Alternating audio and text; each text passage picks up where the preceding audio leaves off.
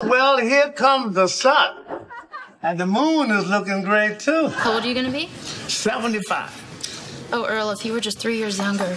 And he had a gun like that. And he shoots me and goes in there, messes up my uh, intestines. I had to have a colostomy for like, oh, eight months. While he was in the hospital, he found out that his character sold the radio station. He wasn't going to be in the show anymore. Hey, let's throw it back to the golden era of Saturday Night Live, where the vibe was unmatched and the cast? Pure comedy royalty. We're talking about the days of Bill Murray, Dan Aykroyd, John Belushi, and the legendary Gilda Radner. These are the OGs who set the bar for SNL, making it the comedy benchmark it is today. But hold up, let's spotlight one standout star Garrett Morris, SNL's first black cast member.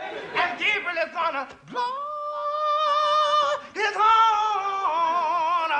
Hallelujah. The man was straight up hilarious, a real scene stealer. Seriously, if laughter were a crime, he'd be serving a life sentence. I'm sentence. Garrett talking to all you white Americans about the way black people have been treated in America. However, if you would like to relieve your guilt, I'm willing to accept money as a representative victim. Then, plot twist, his career hit a rough patch. One day, he's the toast of SNL and Martin. And the next, he's like a magician who made himself disappear. What's up with that? Did he decide to play hide and seek with his career or what? He shoots, goes to my arm, then to my abdomen, which caused me to have a colostomy for like eight months after that. The streets have been buzzing with rumors, but it's high time we dug deep to uncover the truth. What really went down with Garrett Morris? How did he go from being at the top of his game to suddenly out of the spotlight? Person who was producing uh, Martin uh, decided to fire me while I was actually in the hospital. Strap in and hold on to your hats, folks. Why? Because we're about to dive headfirst into the juicy details of the rise and fall, the ins and outs, and the twists and turns of his story. Thank you, Stan. Thank you, man. But uh, I got a little bad news. I ain't gonna be able to do the show after tonight, brother.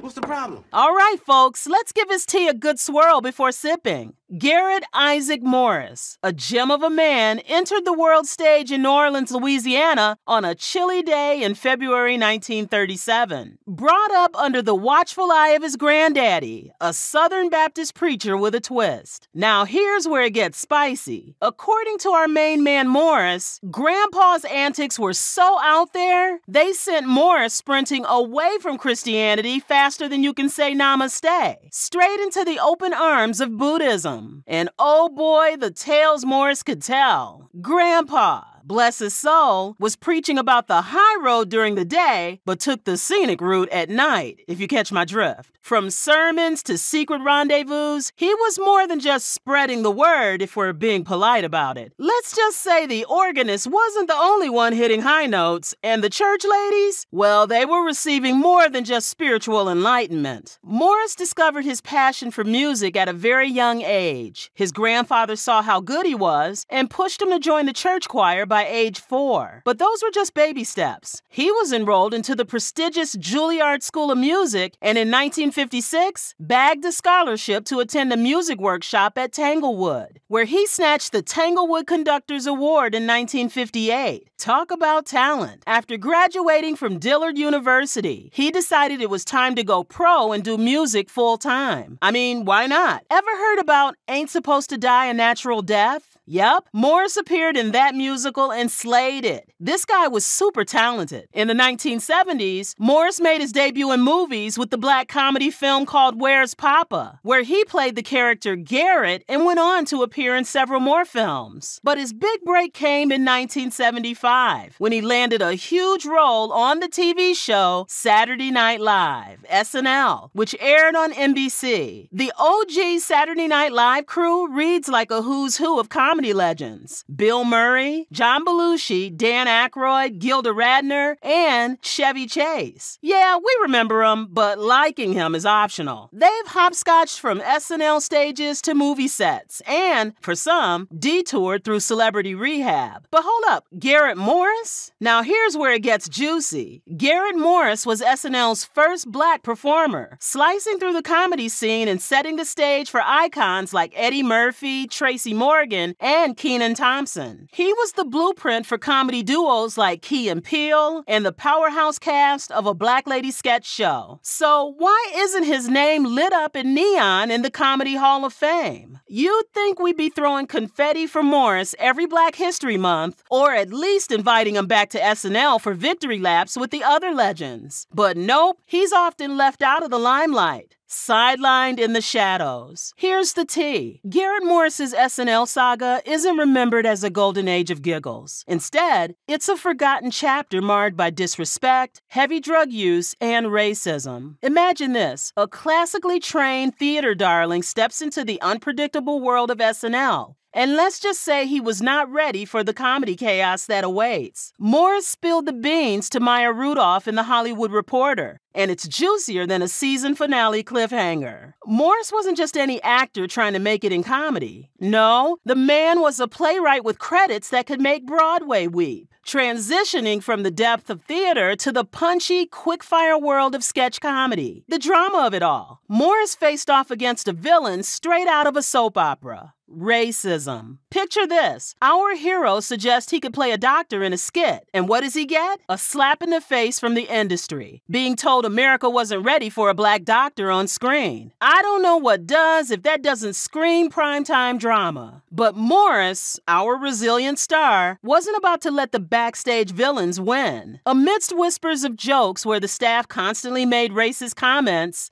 theft, where other writers would steal his script, change a few words here and there, and pass it off as theirs, to conspiracy to erase him from SNL history. Morris did what any underdog would do. He auditioned for the not ready for primetime players and secured his spot in the limelight. Yet the plot thickens. Even as a cast member, Morris wasn't safe from the drama. He was thrust into roles that were, let's just say, less than flattering, like being asked to play a flying monkey, sparking outrage among the black audience and sending shockwaves through his fan base. But in a twist that no one saw coming, Morris stood ground, proving he was not one to be typecast or silenced. Yes, the SNL fame came with its troubles, and it wasn't just the fact that the producers gave him stereotypical roles, it was something worse. Morris had started sniffing that stuff your mom warned you about. You know, the white powdery stuff? That one. The whole time he was on the show, he was battling with some real demons. Imagine dealing with all that, but showing up to make fans happy. Now, I don't know about you, but that's a great guy right there. None of these demons held him back, though. This maestro went on to star in the black comedy film The Census Taker as the title character Harvey, an annoying census taker. And the year after that, he appeared in the science fiction horror movie The Stuff as Charles W. Hobbs, a junk food manufacturer known as Chocolate Chip Charlie. Nah, Morris owned the 80s and 90s. We were just living in it. But while Morris was having the time of his life, life was cooking something really sour. Sour enough to almost end Morris's life. During the filming of the popular sitcom Martin, Morris was shot by a mugger in what looked like an attempted theft. But how did it happen? Picture this Morris is strolling along in central Los Angeles when, out of nowhere, two dudes just straight up walk up to him asking for money. Morris had a big mouth, so he said, Looks like someone wants to fight. Next thing he knew, they grabbed him from behind. But Morris was a first degree black belt, so he tried to fight back. He turned around and came face to face with a guy holding a gun. When I mm-hmm. turn around, that's when I see the gun. I didn't know he had a gun. Had I known he had a gun, I wouldn't have done anything, right? Had he come to me like that with the gun, I'd say, hey man, whatever you want. The news went flying all over the place that he was attacked and needed surgery. It was at this time that Morris knew that no one really gave a hoot about him. None of his co stars offered to help. I mean, co stars aren't friends, so we could excuse that. But here's where it gets suspicious. While Morris is lying in the hospital, fighting for his life, the show's producer, Lawrence, decides to give him the boot. That's when the person who was producing uh, Martin uh, decided to fire me while I was actually in the hospital. This was Morris's fourth major operation, and his life was at stake. And what he got was a script that says his character, Stan, moved to China. So basically, while poor Morris is recovering in the hospital, they decide to kick him out of the show. The world moves on fast, right? Morris had two options get depressed or get mad. He did get mad, but he moved on fast. He'd seen worse things at the start of his career. Oh, did I miss that? Morris faced so much racism, even on sets. They sometimes made him and other black actors find their hotels somewhere far away where white people wouldn't see them. One time, he was even arrested for walking while black. Basically, he was just existing, and the cops were offended. Man, the many woes of the black man. But this hurt more because Morris was part of the cast for the first two seasons of the show Martin, only for them to remove his character. As if that wasn't enough, Martin Lawrence told everyone who cared to listen that he visited Morris in the hospital and shed some tears. It's a shame that Morris never got a proper explanation for why he was let go from one of his most iconic roles. Despite the abrupt exit, we're grateful he was part of one of the best sitcom casts in history. You'll never guess who else got on Morris's bad books his co star Richard Pryor. Can you believe it? These two lovable personalities had a bit of a falling out. In a recent interview with Vlad TV, Morris disclosed what really happened when Richard Pryor hosted Saturday Night Live back in 1975. Morris had big hopes for their collaboration because he saw Pryor as the top dog in comedy. But honey,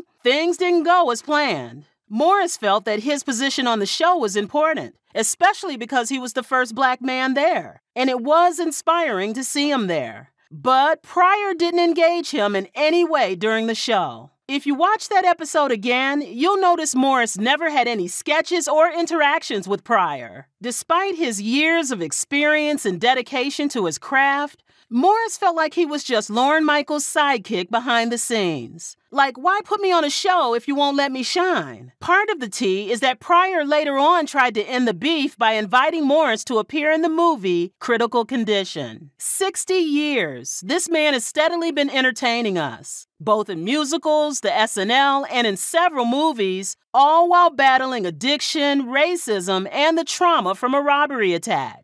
The reward for this type of dedication doesn't come fast enough. It was on February 1st, 2024, that something big finally happened and inked down Morris's name among the greats.